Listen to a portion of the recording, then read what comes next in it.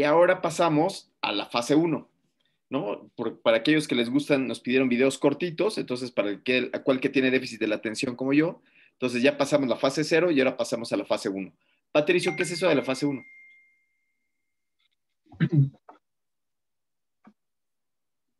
Sí, cuéntame. La fase 1, en los estudios ensayos clínicos es donde se empieza el primer análisis de experimentación, donde se empiezan a revisar las características de los tipos de pacientes que van a poder ser asignados. Empiezan y con grupos pequeños. Y si me puede ir pasando las diapositivas para ir explicando un poquito mejor.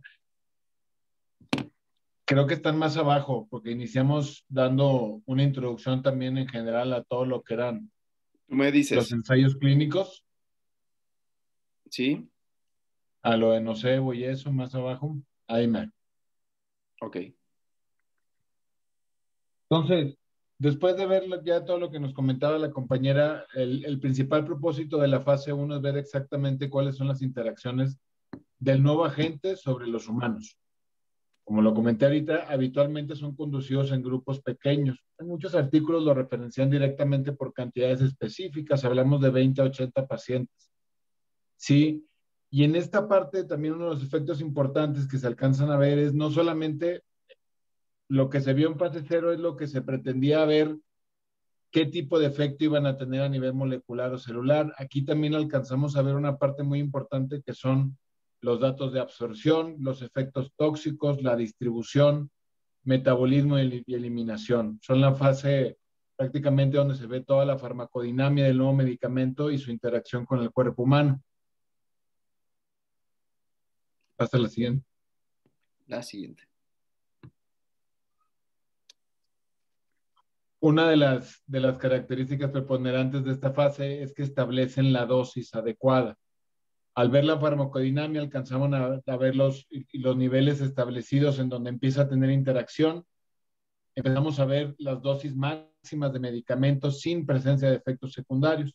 Entonces, mientras en la fase cero se establece una dosificación en base a los efectos que pretendemos tener, hasta la fase 1 es la que se determina cuál es la dosis máxima.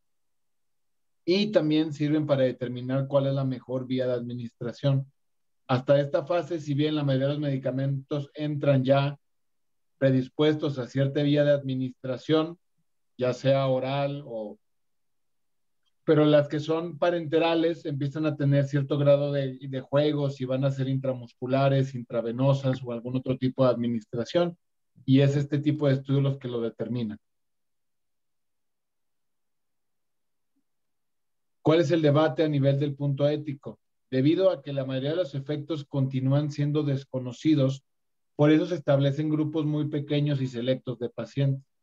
Si lo que quieres ver es exactamente la toxicidad de lo que va a ser tu nuevo medicamento y dosis máximas, tienes que tener con, y poblaciones mucho más controladas y todo tu medio ambiente tiene que estar controlado al máximo, ¿no? Y sobre todo a la manera que empiezan a ver ellos la parte de las dosis máximas es haciendo aumentos paulatinos de lo de las dosis para valorar que en el momento que se presente un, efecto inesperado o secundario, poder tomar las medidas necesarias.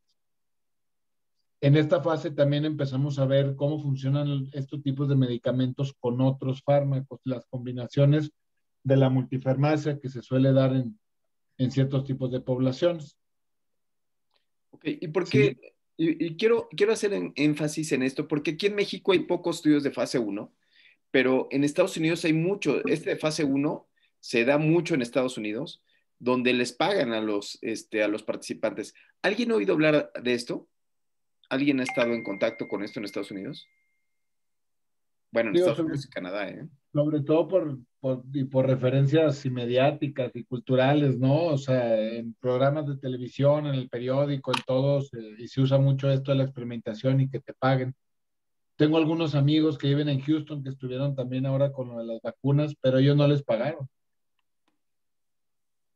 Sí, con las vacunas no pagaron. Bueno, este, cuando son nuevos medicamentos, este, muchas de las ocasiones los dejan así como si fuera un clamp de insulina, este, y los dejan para hacer curvas de farmacocinesia, farmacodinamia y farmacocinesia y todo esto, en donde les van tomando, les van tomando, digamos que muestras cada, cada determinado tiempo. Voy a decir una locura, cada, cada hora durante 10 horas. Y entonces son sujetos que están ahí este, como conejillos de indias. Yo creo que ahí sería como el, el, debate ético, ¿no? ¿no? No, no sé qué opinas tú, Cari. Lo que pasa es que en Estados Unidos hay una estructura diferente. Los institutos de salud, muchos de ellos, no sé si tú te acordarás, por ejemplo, Bancalar y todos ellos, junto a sus departamentos, tienen laboratorios en donde trabajan la línea que están investigando. Por ejemplo, uno de ellos tenía un laboratorio de fisiología eh, cardiopulmonar. Entonces, lo que hacen es que eh, eh, allí en Estados Unidos, por ejemplo, si tú tienes un cáncer estadio 1000, te ofrecen un tratamiento experimental, que es para lo que hacen los, pues, todo esto y enrolan al con nuevos fármacos, nuevas cosas que obviamente están respaldados con la industria farmacéutica. Aquí en México la estructura no nos lo permite. O sea, si tú te quieres salir en una UMA de una guía, par de Troya. ¿Por qué? Porque no tenemos esa figura bien establecida en nuestros institutos de salud, que para eso deberían de tener una parte fundamental, porque sabemos que no está todo dicho en, en, en, la, en la medicina. Yo, por ejemplo, cuando leo fases de investigación me muero de la risa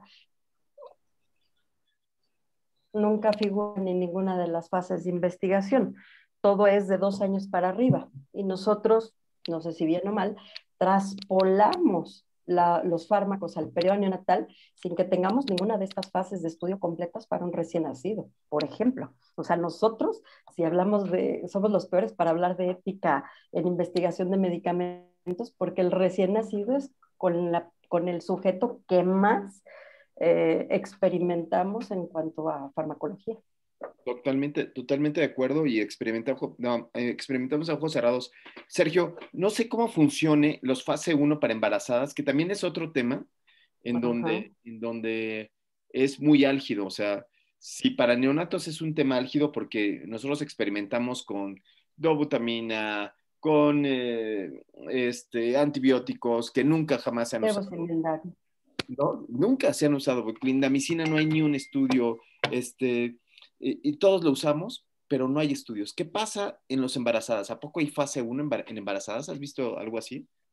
No, tampoco he visto y también es eh, mucho problema porque todo lo que tiene que ver con administración y como el riesgo para el feto también es, es muy complejo. De hecho, yo no, no, no conozco estudios en fase 1 en embarazadas propiamente. Sí, entonces, entonces vean ustedes cómo hay las dos partes de la moneda, estimado Manuel. Este, la, moneda, la moneda de una parte que sí es ético utilizar en adultos y la otra parte de la moneda es, híjole, si no es en adultos, ¿en quién, no? ¿Qué opinas, Manuel? Retomando las palabras de Sergio, precisamente en la clase pasada de farmacología veíamos este, eh, estas situaciones de las fases y de hecho ya se empieza a abrir las puertas para eh, trabajar en poblaciones de alto riesgo que son precisamente embarazadas, niños y, y, adultos mayores.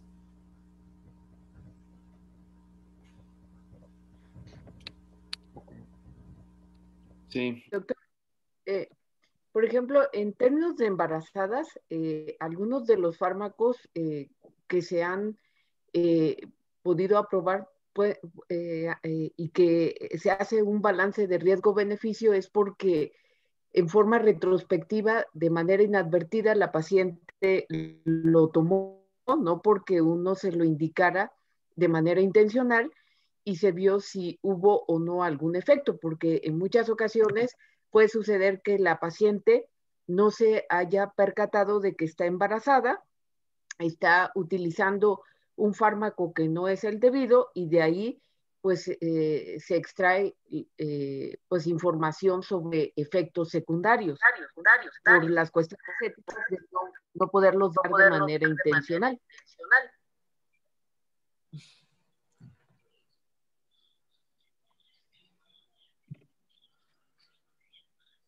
Cari, ¿puede, seguir con la clase? Yo aquí... Cari, ¿puedes una llamada? Sí, cómo no. Y bueno, eso que mencionas eh, de, los medicamentos eh, eh, queda como anecdótico nada más. De hecho, por ejemplo, hay un texto que viene sobre cada uno de los medicamentos y las complicaciones que se han presentado durante su uso en, la, en el embarazo y o en la lactancia, pero queda como anecdótico. Realmente no sabemos el alcance de todos esos medicamentos. Creo que, creo que esos dos son grupos muy, muy, bueno, tres grupos muy, muy vulnerables. Y otra cosa, hablando de la ética que comentaba Rodolfo, pues no es lo mismo pedir un consentimiento informado a un adulto que a un niño, a un recién nacido. Todavía una embarazada pudiera tener algún, eh, eh, comentar un, el, consentimiento informado, pero pues realmente no sabemos el alcance de los medicamentos. ¿Alguien quiere comentar algo más? Ok, seguimos, por favor. Y creo que se adelantó una maestra. ¿Podemos regresar? ¿Son otra? Bueno, no sé si se puede regresar porque la estaba regresando Rodolfo. Ah. Y, si no, compartimos. Ahí seguimos, pues. Nada más, de hecho, aquí tengo yo la otra parte. Ahora sí, la que sigue, doctor Rodolfo. Aquí, bueno, esta parte este, creo que era importante este tipo de estudios y este tipo de fases en los ensayos clínicos, viene aquí explicado un poquito sobre los niños, ¿no? Que muchas veces cuando son medicamentos emergentes en, niños, se utilizan poblaciones más grandes que en los adultos, sobre todo porque muchas veces por el potencial beneficio pueden llegar a requerir que su lanzamiento sea más rápido. Digo, en este caso también podemos ver la parte de lo de las vacunas que vimos ahora, cómo se adelantó prácticamente toda la fase 1 en todos, hicieron grupos grandes desde el inicio. Y un par de aspectos negativos, la parte de cómo se están administrando dosis pequeñas que van en constantes aumentos durante el transcurso de la fase 1, puede tener un efecto adverso sobre la eficacia, ya que muchas veces se suelen dar dosis subterapéuticas y pueden llegar a tener estos falsos resultados donde evalúan que el, que el, medicamento no fue efectivo cuando realmente lo que ocupaba eran mayores dosis y atrasar la salida o el paso a la siguiente fase.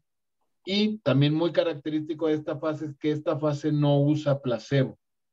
En esta fase continuamos entendiendo cómo funciona el medicamento, cómo lo vamos a administrar, cuáles son las dosis que vamos a requerir, cuáles son los efectos adversos entonces, antes de compararlo con algún otro tipo o con el placebo, en esta fase todavía no se utiliza. ¿La que sigue?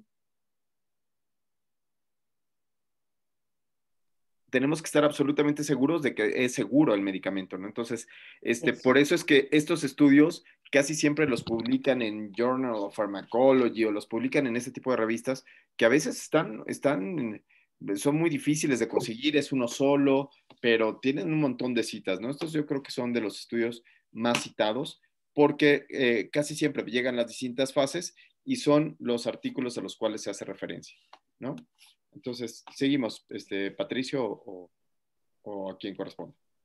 Sí, seguimos, seguimos. Y entonces, ¿qué esta fase, qué va a determinar en el medicamento? Dos factores muy importantes, la seguridad y la eficacia del medicamento. La eficacia se conoce como las dosis efecto y las dosis máximas y la seguridad es justamente los efectos adversos que se van presentando, no solamente a dosis altas, sino en cualquier tipo de instancia. Entonces, ¿para qué sigue? Ese soy yo. Ya. Esa era ya la otra parte de la tarea, pero esto era lo que queríamos ver sobre la fase 1. En esta parte ya pasaríamos a la fase 2. Ah, esa caricatura, esa caricatura soy yo en la Gineco 4, poniéndole surfactante a los niños. Este, qué horror de tipos. Este, este, bueno, entonces, queda claro, podríamos hacer un resumen rápidamente de la fase 1. Entonces, en el fase 1 no lleva placebo, el fase, el fase 1 lo único que se quiere es evaluar la seguridad y cuando hablamos de seguridad, hablamos de laboratorios en donde vemos que no haya incremento de enzimas hepáticas, que no haya incremento de que no haya alteraciones a nivel este, renal, ¿no? Este, y bueno, y, que sea y que funcione y que cambie un poco el entorno que estamos teniendo, ¿no? Entonces, este, yo creo que nosotros no estamos acostumbrados a estos fase 1 porque nos reflejan pocos datos clínicos en la práctica normal. Y entonces... Algo, importante es que los voluntarios son sanos. Ah, claro. También, ¿no? Claro, totalmente. Y entonces, en este estudio experimental tienen que ser sanos, sanitos. En México casi no hacemos este tipo de estudios porque casi no hacemos cosas novedosas, así de novedosas, así de fuertes. Y entonces, ahora pasaremos a la siguiente fase, que sería la fase 2. Fase